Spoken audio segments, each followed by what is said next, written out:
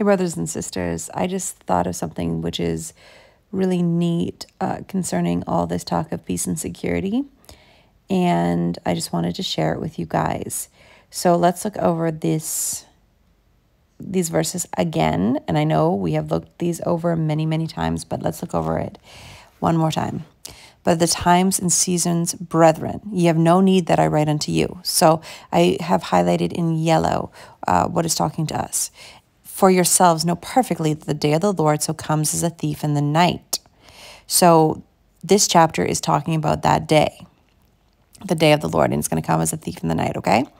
So we know perfectly about that. We, the Christians, we know this.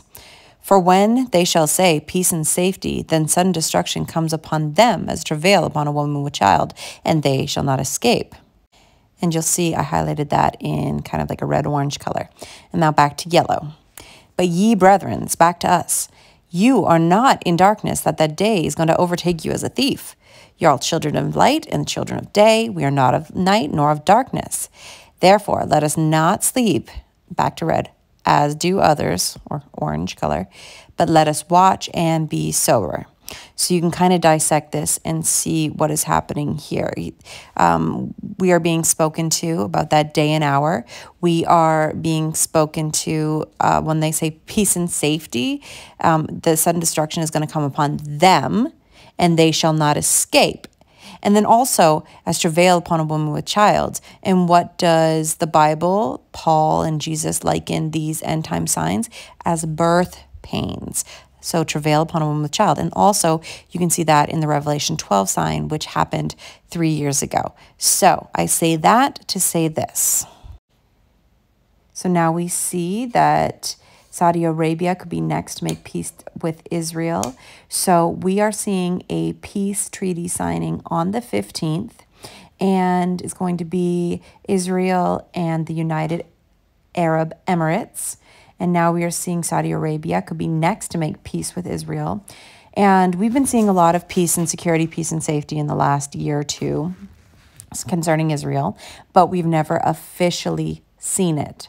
Here's what I mean if they sit down and sign this peace treaty, that could be the official peace and safety that causes sudden destruction upon them as travail upon a woman with child, and they shall not escape. But ye brethren are not in dark, that that day will overtake you as a thief.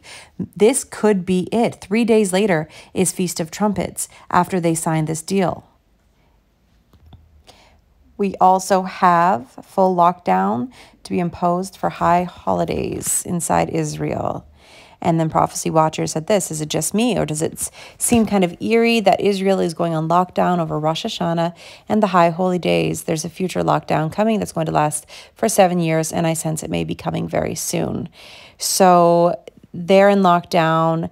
They will not be outside blowing the shofars and, you know, it's just the enemy trying to quiet the celebrations. It's the enemy trying to prevent future events, but the enemy cannot prevent what God is going to do. The trump of God, God Himself is going to be that trump, the last trump.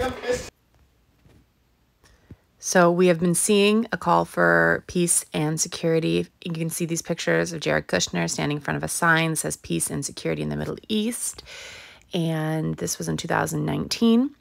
And back in 2017, they had their slogan, the United Nations had their slogan, Together for Peace and Security. Um, the next clip is going to show that. I just have to wait for it a little bit here so I get it right. So it is Together for Peace, Respect, Safety, and Dignity for All. So we've got peace and we've got safety. And this was September 21st, 2017. So it's so interesting that they were calling for peace and safety in September 2017. That's when the Revelation 12 sign happened. Peace and safety, brothers and sisters. So we're, we've been seeing this call for peace, but this is the first time we've actually seen them going to be officially sitting down to sign a peace treaty. Now, I'm not saying that this is going to be the seven year peace treaty, um, but Gary Stearman or someone who was working for him in Prophecy Watchers wrote in the comment section of their Facebook page that the Antichrist can confirm a covenant that has already been signed.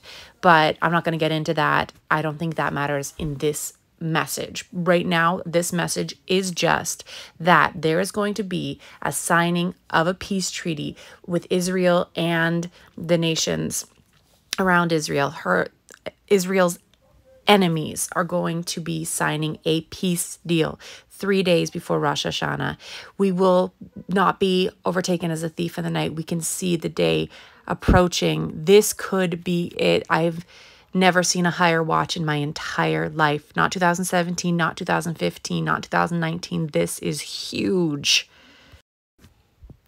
But of the times and the seasons, brethren, body of Christ, brothers and sisters, you have no need that I write unto you. For yourselves know perfectly that the day of the Lord comes as a thief in the night. You guys know this. I've told you this. For when they shall say peace and safety, then sudden destruction comes upon them, as travail upon a woman with child, upon a pregnant woman travailing in labor. And they shall not escape. They, who are they? But who are the ye? Brethren, body of Christ, brothers and sisters, are not in darkness that that day should overtake you as a thief. So we can know the the time frame, we can know the season. You're all children of light, children of day. You're not of not the night nor darkness. Therefore, let us not sleep as do others, but let us watch and be sober. Remember, therefore, how thou hast received and heard, and hold fast and repent. If therefore thou shalt not watch, I will come on thee as a thief, and thou shalt not know what hour I will come upon thee. Revelation 3 3. Um, a lot of people are going to be taken by surprise in the Christian community. Doesn't mean they won't be taken up, but it'll be a surprise to them. It is not going to be a surprise to us because we are watching and we are excited. Love you all so much. God bless you all. Maranatha. If you've never accepted Jesus as your Lord and Savior, now is the time. Don't delay. The seven year tribulation is right around the corner. It is casting its shadow on the world today. We are seeing the prophecies coming to pass now, the foreshadows of the tribulation period. Please look into this. The Bible prophecies coming to pass at breakneck speed. You have nothing to lose but eternity to gain. God bless you all. Maranatha.